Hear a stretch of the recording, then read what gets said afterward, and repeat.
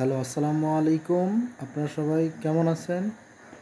আমি আজকে প্রাথমিক চিকিৎসা নিয়ে কিছু আপনাদের ধারণা দিব, যেগুলো আপনারা আপনাদের ছাগল বা গরু, ছাগল, হাঁস, মুরগি, ভেড়া, যেগুলো আপনার প্রাথমিক চিকিৎসা বাসায় করতে পারবেন, সে বিষয়ে একটু আলোচনা আমি আজকে করব। তো আগে আমি তাপমাত্রাগুলো বলে দিই আপনাদেরকে।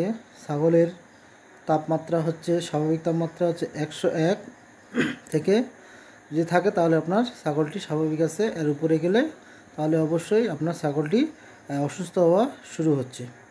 গরু টেম্পারেচার একশো এক থেকে আপনার স্বাভাবিক টেম্পারেচার আর একশোর উপরে হলে আপনার অসুস্থ হওয়া শুরু হচ্ছে।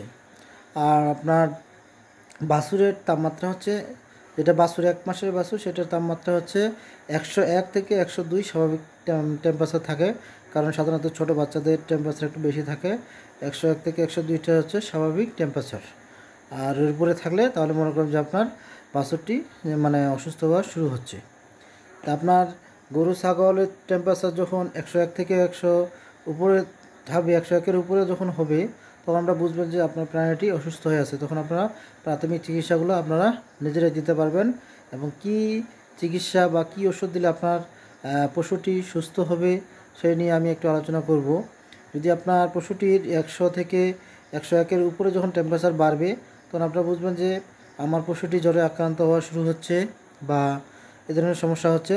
তখন আপনারা প্যারাসিটামল ব্যবহার করতে পারবেন।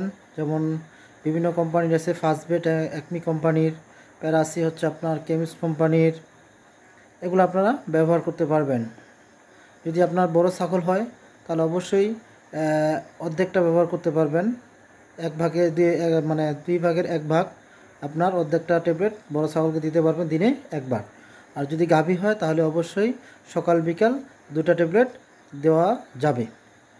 তার পাশাপাশি আপনাদেরকে অবশ্যই অ্যান্টিহিস্টামিন যে গ্রুপের ওষুধগুলো আছে, যেমন হিস্টানল প্রমিভেট থায়াজিন টোমোয়েল এগুলো একটু পাশাপাশি আপনারা ব্যবহার করতে পারবেন। যদি কোনো প্রকার হালকা সর্দি, কাশ থাকে, সেটা আপনার চলে যাবে।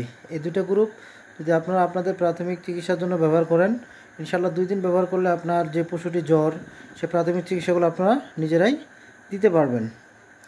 আর যদি আপনার দুই দিন আপনারা ট্রাই করতে পারবেন, তারপরে মনে করেন যে আপনার যদি কখনও কোনো ছাগলের বা গরুর কাশতেছে বা সর্দি লাগে নাকের মধ্যে, তাহলে আপনারা ব্যবহার করবেন শুধু হিস্টানল তারপরে যে প্রমিভেট এসব গ্রুপের ওষুধ আপনারা ব্যবহার করতে পারেন বড় ছাগলের হিস্টানল আপনারা অবশ্যই দিবেন অর্ধেক, আর যদি ছোট বাচ্চা হয়, মনে করেন তিন মাস বয়সের বাচ্চা হলে অবশ্যই আপনারা চার ভাগের এক ভাগ খাওয়াবেন।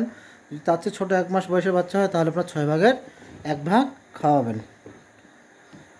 আর যদি আপনার গরু হয়, তাহলে অবশ্যই একটা করে খাওয়াবেন দিনে।